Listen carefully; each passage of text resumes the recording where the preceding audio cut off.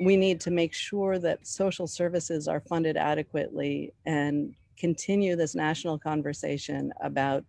moving funding into social service, the social safety net, so that rather than having the police called in when we have uh, somebody who is uh, having a problem with drug addiction or having a problem with homelessness or domestic uh, ab- abuse problems, that we make sure we bring in experts